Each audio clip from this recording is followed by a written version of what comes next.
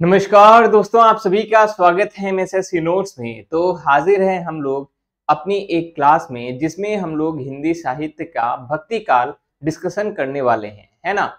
बिंदुवार तरीके से, कुछ समराइज तरीके से हम लोग भक्ति काल को पढ़ेंगे और समझेंगे।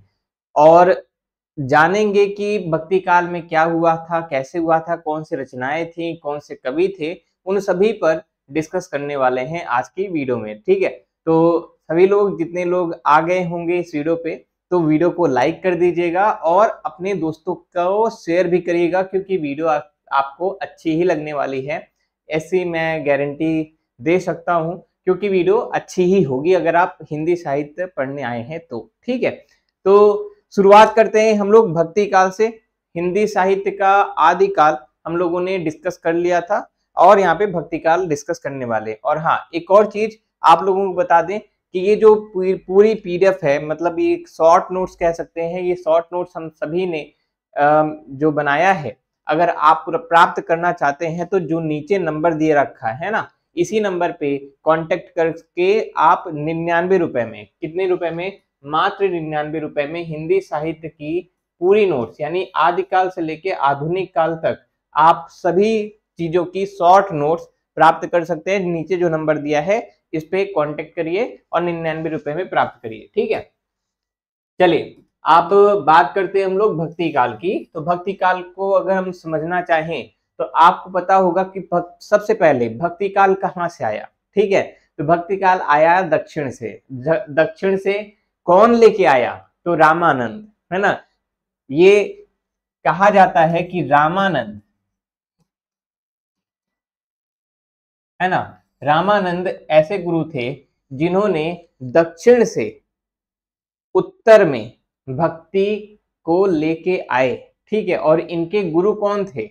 रामानुजाचार्य, ठीक है? तो रामानुजाचार्य जो थे, वो इनके गुरु थे और रामानुजाचार्य ने इनको क्या कहते हैं, दीक्षा दी और उसके बाद इन्होंने उत्तर में आया उत्तर में क्या किया? भक्ति का प्रसारण किया। और इनके बहुत सारे, ढेर सारे शिष्य रहे, जिनमें से बारह प्रमुख बात होती है जिनकी, जिनमें से आपको पता होगा कि कबीर भी हैं, है ना?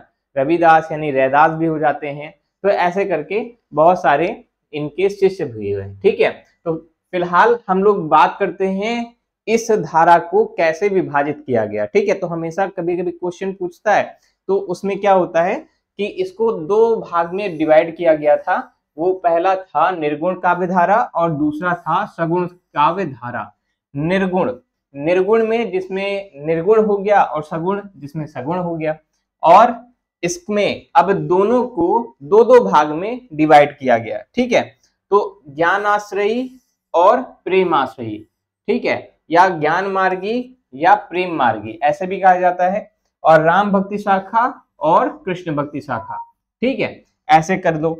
फिर उसके बाद अब ज्ञान आश्रय में ये होता है कि प्रमुख कवि कौन है? कभी कभी क्वेश्चन पूछता है कि ज्ञान आश्रय में प्रमुख कवि कौन है? तो प्रमुख कवि हमारे कौन है? कबीर दास है ना? और प्रेमाश्रय प्रेम प्रेमाश्रय में या सूफी? इसको संतों में बात कर बात करेंगे तो सूफी संत की बात होती है ना? यहाँ पे सूफी संत धारा हो, हो जाती है ऐसा भी बोला जाता है इसको। ठीक है और ये संत वाला।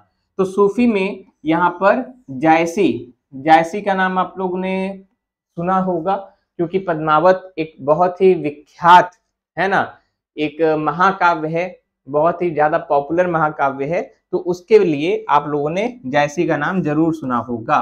ठीक है तो प्रेमाश्रय में कौन लीड करते हैं? जायसी, और ज्ञान आश्रय में कौन लीड करते हैं? कबीर। ठीक है, अब वहीं अगर बात कर ले राम भक्ति शाखा में तो राम भक्ति शाखा में जो प्रमुख कवि हैं। उनमें से सबसे प्रमुख कौन है? तुलसीदास है। और कृष्ण भक्ति में सबसे प्रमुख या किस, जिसका जब सबसे ज़्यादा दबदबा रहा है, वो सूरदास का। ठीक है? इतनी चीज़ें आपको क्लियर हो गई होंगी। ठीक है? अब आगे की बात करते हैं। यहाँ पे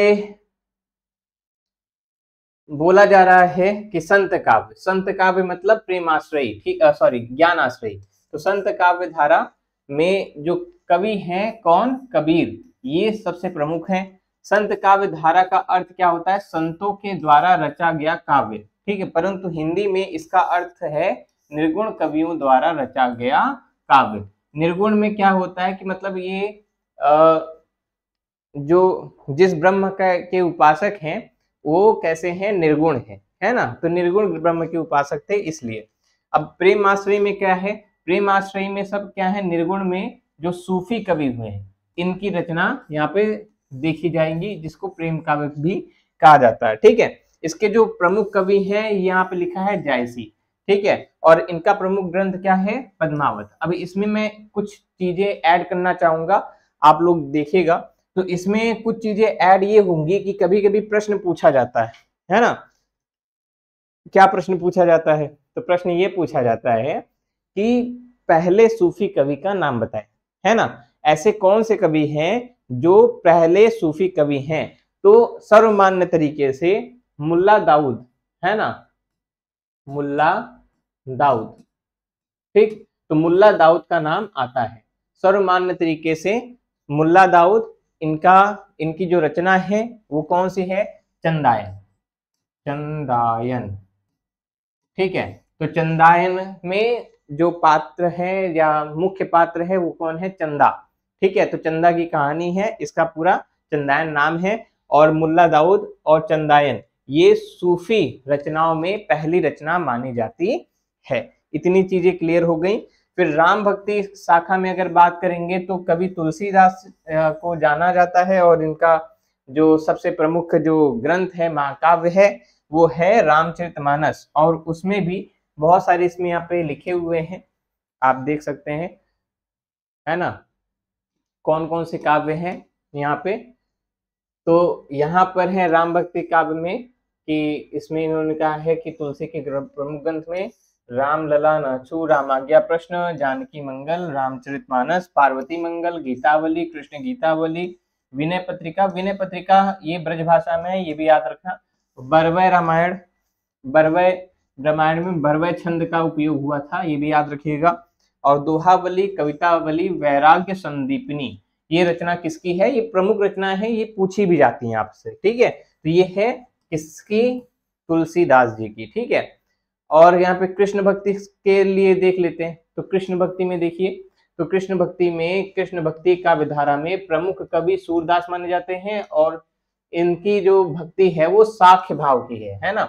और सूरदास है, ये इन्होंने वात्सल्य को को अपना हथियार बनाया, है ना? जैसे आपने घुटन चरत, है ना? तो ये जितने भी हैं वात्सल्य सम्राट कहा जाता है इनको। और कृष्ण काव्यधारा में दूसरा स्थान नंददास का आता है। नंददास को ब्रज भाषा का जड़िया कहा जाता है। ठीक है, जड़िया कहते हैं इनको। और कृष्ण भक्ति काव्यधारा में मीराबाई का भी प्रमुख स्थान है। मीराबाई का ये कृष्ण की दीवानी थी, ठीक है? और मीरा का कृष्ण से प्रेम अपने चरम रूप में प्रकट होता है। मेरे तो गिरधर गोपाल दूसरों ना कोई ठीक है? जाके मुकुट, जाके सिर, मोर मुकुट। तो भक्ति काल के प्रमुख कवि यहाँ पे लिखे हुए हैं। यहाँ पे देख सकते हैं आप लोग। तो कुछ लोगों को हम आज ये डिस्कस करते हैं। है ना? बीजक है कबीरदास की, बानी है रैदास की। सुंदर विलाप है सुंदर दास का ज्ञान बोध रत्न खान जो है मलुक दास का, हंसावली जो है असायत और मधुमालती मंजन की है, मृगावती कुदबन की है इंपॉर्टेंट है सब, और चित्रावली उस्मान की है, ये सब सूफी है रचना, ठीक है? मधुमालती, मृगावती, चित्रावली, सत्यवती कथा किसकी है ये?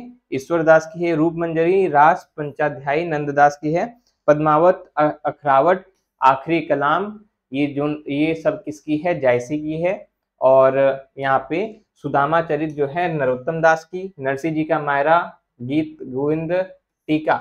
देखो गीत गोविंद जयदेव की है ठीक है?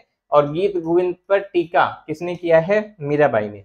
और हित चौरासी है हित हरिवंश है और सूरदास सूरसारावली साहित्य लहरी ये सब किसकी रचना है? सूरदास जी की है ठीक है?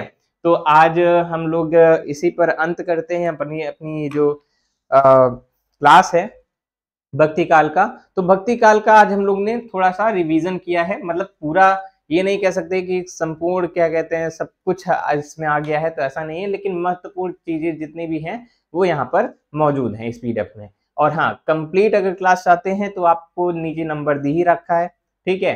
और हमारा जो कोर्स होता है वो M S S S C notes app पर, ठीक है? हमारा एक एप्लीकेशन है वो आप इस नंबर पे कांटेक्ट करके पूछ भी सकते हैं और उसकी लिंक भी प्राप्त कर सकते हैं और उसमें जो कोर्सेज होते हैं वो चाहे यूपी टेट सी टेट और चाहे आप टीजीटी पीजीटी हिंदी साहित्य से या फिर आप नेट जी की हो या बीपीएससी की हो, चाहे एमपी की हो रीट की हो, किसी की भी एग्ज़ाम की तैयारी कर रहे हैं तो हमें इस नंबर पे संपर्क करके पूछ सकते हैं कि कोर्सेज का प्राइस क्या है, क्या नहीं है और ये जो नोट्स है जिसमें पूरी यदि आदिकाल से लेके आधुनिक काल तक सेम एकदम एकदम एकदम क्या कहते हैं, महत्वपूर्ण बिंदुओं को लेते हुए सब कुछ डिटेल में और शॉर्ट में आपको मिलेगा सिर्फ़ और सिर्फ़ नाइन्टी नाइन रुपीज़ में। तो ये जो नंबर है, उस पर आप व्हाट्सएप कर सकते हैं और व्हाट्सएप करके पूछ सकते हैं कि मुझे निन्यानवे रुपये वाली पीडीएफ कैसे मिलेगी या हिंदी साहित्य की जो पीडीएफ है शॉर्ट नोट्स है, वो कैसे मिलेगी। और अगर कोर्स के लिए भी चाहते होंगे तो वो भी इसी नंबर पे इंक्वायरी कर सकते हैं, ठीक है? तब तक के लिए दोस्तों बहुत बहुत धन्यवाद। नमस्कार, जय हिंद।